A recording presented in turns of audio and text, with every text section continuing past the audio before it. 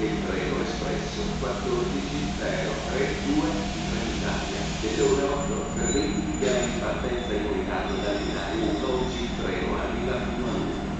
non sono previste fermate e per mezzo. ci scusiamo per il disagio